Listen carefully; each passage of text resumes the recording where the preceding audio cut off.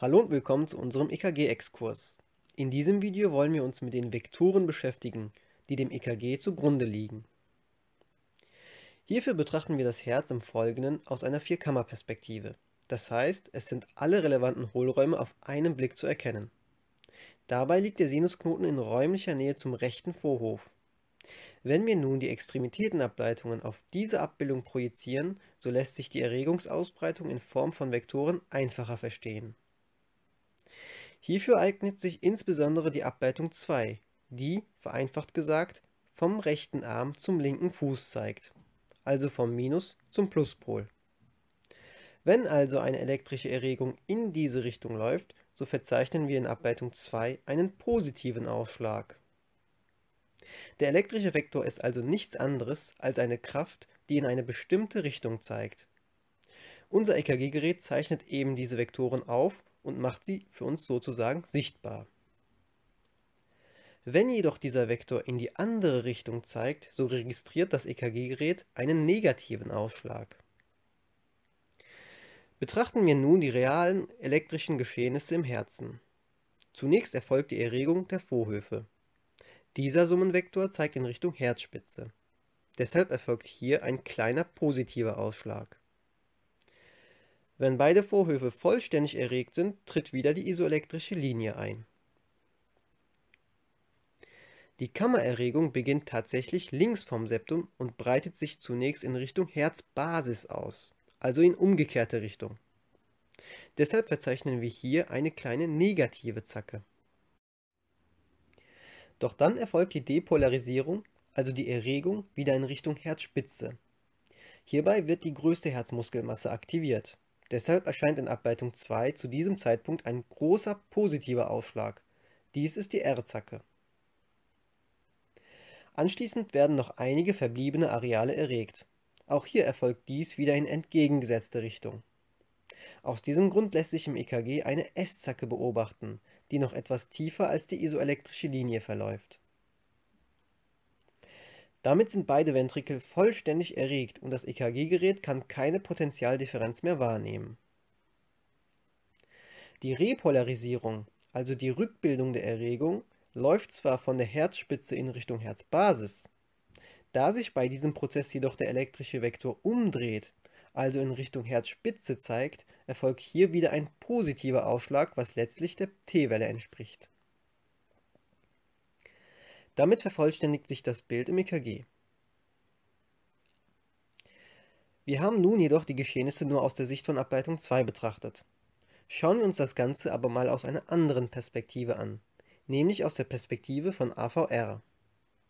Diese Ableitung befindet sich im Bild oben links. Wenn nun der größte Summenvektor erfolgt, also die eben besprochene R-Zacke in Ableitung 2, so zeigt ja diese in Richtung Herzspitze, also weg von AVR. Dies bedeutet aber, dass in dieser Ableitung ein negativer Ausschlag erfolgt. Wir können somit festhalten, dass positive Ausschläge nur dann verzeichnet werden, wenn ein Vektor auf eine bestimmte Ableitung zeigt. Wenn dieser jedoch in die umgekehrte Richtung erfolgt, so registriert die entsprechende Ableitung eine negative Zacke. Das Ganze besitzt selbstverständlich auch klinische Relevanz. Auf dieser Folie erkennt man die räumliche Nähe der Ableitung V1 sowie V2 zu den jeweiligen Ventrikeln. Bitte beachtet, dass das Ganze stark schematisiert ist und nur der Veranschaulichung dienen soll. V1 und V2 liegen nicht zwangsläufig über diesen Ventrikeln. Wie dem auch sei, zunächst erfolgt also die bekannte Vorhoferregung. Ab diesem Schritt betrachten wir auch parallel das EKG in Ableitung V1.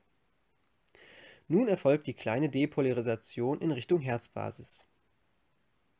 Da der Summenvektor somit in Richtung V1 zeigt, kommt es hier zu einem positiven Ausschlag. Die darauf folgende Erregung der Hauptmuskelmasse zeigt wieder in Richtung Herzspitze, also weg von V1. Deshalb erkennt man hier eine tiefe negative Zacke.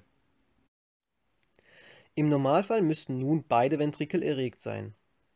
Doch bei einem Rechtschenkelblock erreicht die Erregung nicht den rechten Ventrikel. Deshalb muss dieser von der linken Herzseite aus erregt werden, kann hierfür aber nicht mehr das spezifische und schnelle Reizleitungssystem verwenden, da der rechte Kammerschenkel ja blockiert ist. Deshalb erfolgt hier ein langsamer, aber großer Vektor von links nach rechts. Dies entspricht einem weiteren positiven Ausschlag in V1. Nach dieser trägen Depolarisation sind also beide Ventrikel vollständig erregt. Diese Kenntnisse verdeutlichen uns jedoch, warum bei einem Rechtschenkelblock ein M-förmiger QRS-Komplex in dieser Ableitung auftauchen kann. Das Wissen über die Vektoren kann sich auch bei der Diagnostik von Infarkten auszahlen. Hier kommt es, wie bereits in unserer EKG-Reihe erwähnt, zu einer transmuralen Schädigung das heißt der Infarkt betrifft alle Wandschichten des Herzens. Durch den Untergang der Zellen entsteht in der Nekrosezone sozusagen eine positive Ladung. Deshalb kommt es hier zu einem elektrischen Vektor, der in die Richtung des Infarktes zeigt. Wenn also beispielsweise ein inferiorer Infarkt vorliegt, so entsteht ein auf dieses Gebiet zeigender Vektor. Wenn wir nun auf unser Herz die Extremitätenableitungen projizieren, so sehen wir, dass dieser Vektor genau in die Richtung der Ableitungen 2, 3 und AVF gerichtet ist. Deshalb kommt es in diesen zu einer Anhebung der ST-Strecke. Da aber dieser Infarktvektor von beispielsweise AVL weg zeigt, kommt es hier zu einer ST-Senkung. Damit hätten wir auch das Ende des Videos erreicht. Ich hoffe, dass die Erklärungen einigermaßen verständlich waren.